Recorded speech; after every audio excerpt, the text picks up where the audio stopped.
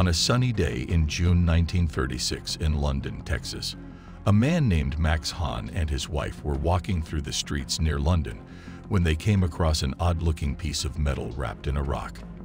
They took it up, oblivious to the fact that this tool would quickly become a mystery to the archaeologist. That strange-looking rock had an object in it, a hammer. It was dubbed soon as the London Hammer. But the hammer wasn't discovered until 1947. The first mystery part has arrived, and there's a lot more to it. Let's unravel the enigma and mystery behind what is known as the London Hammer. The Hahn family found the rock object in 1936, but it took them 11 years to find a hammer inside it, as their son broke the rock and realized what was attached to it, an iron-headed hammer. The hammer had been moving around for nearly four decades, from museum to museum, until it landed in the hands of Baugh. A part of the broken nodule is still attached to the hammer, with an unfossilized mollusk shell found partly embedded. The hammerhead was reported to show very little oxidation when it was first exposed to the open air.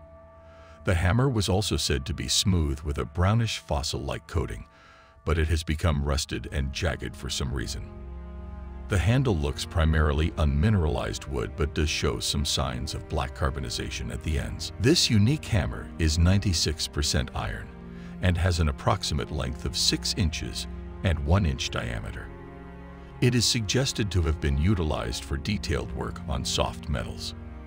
The artifact's chemical composition was identified as 0.74% sulfur, 2.6% chlorine, and a whopping 96.6% iron.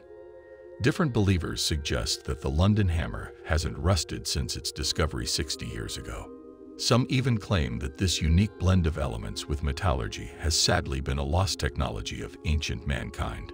Carl Baugh, a creationist, was the one who purchased the London hammer. Baugh was so taken with this hammer that he dubbed it the London Artifact and added it to his collection. Carl Baugh displayed it at the Pittsburgh Creation Conference in 1986.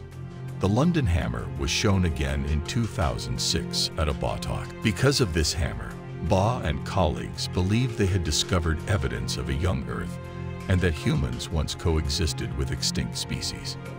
And his assertions regarding the ancient piece were going to raise a lot of eyebrows. Baugh and other creationists appear to have made assumptions without solid evidence from the start. They assumed that the nodule in which the rock was discovered was once a part of the surrounding rocks. However, they all had difficulty determining the geologic period of the nearby rocks. What makes the London hammer so unique? The rock in which the tool was discovered is thought to be about 400 million years old. The hammer is so old that part of the handle had begun to transform into coal. This seems impossible as modern humans have only been around for about 200,000 years. So how has a man-made tool become encased in a 400 million year old rock?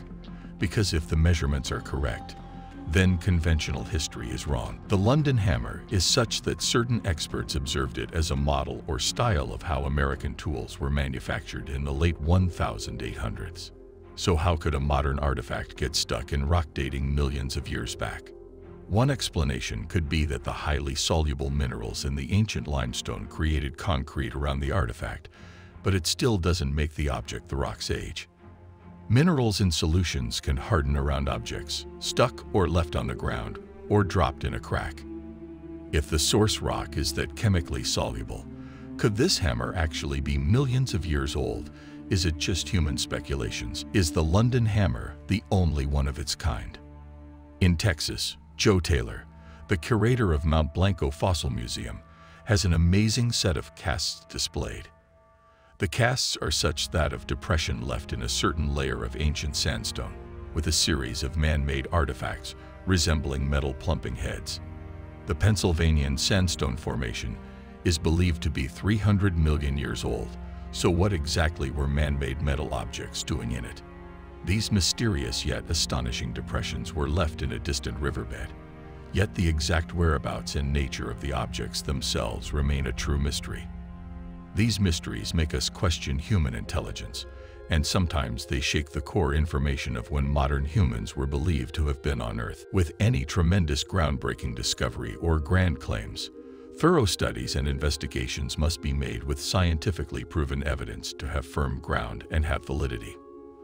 The discovery of this ancient artifact has left scientists and the general public with numerous questions because of its uniqueness.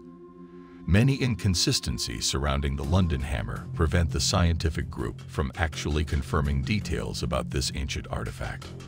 First, reports to where the object was initially located in the rocks are conflicting, with no photographic evidence either. One report states that Mr. Hahn discovered the hammer near the surrounding stones. The other argues that the hammer was stuck in a rock formation dating back to around the Cretaceous period, 65 to 135 million years ago. Skeptics and such argue that the minerals might possibly have cemented the hammer around the millions of years old rock after it was left behind or dropped. This could lead beginner geologists to believe that the rock and the hammer are from the same period, millions of years old. The one valid scientific method of truly determining the specific age of the hammer is by carbon dating of its wooden handle. However, this method is yet to be authorized. Although the handle appears to be somewhat fossilized, this adds certainty to the argument that it truly is an ancient tool. Still, another view weakens this one because fossilization can also occur prematurely due to various natural methods. Some even believe that the hammer was hit by a meteorite that then formed around the tool.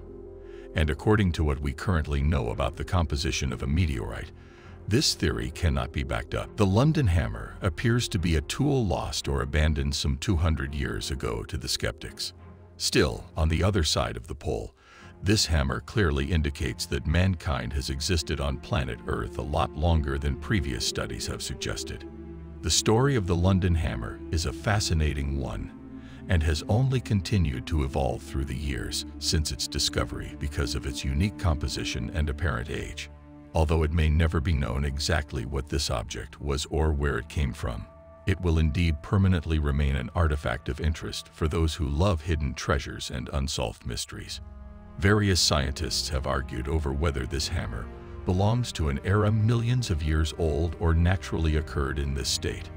Researchers are still taking place, and carbon dating for the age of hammer handle is yet to be authorized. Mysteries remain.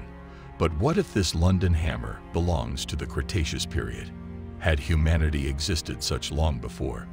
Was there a civilization that existed in that time period that is truly unknown to mankind? Or was it an advanced civilization that left such tools of the same era?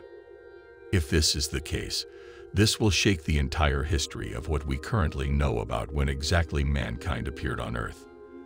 The mysteries revolving around the London hammer remain, for whatever belief individuals have regarding the hammer, it does genuinely represent mankind's unquenchable thirst for meaning, connection, and knowledge to a large degree. Stay tuned for more next time. If you like this video, hit the thumbs up icon. Don't forget to subscribe and hit the bell icon to get notifications for new videos.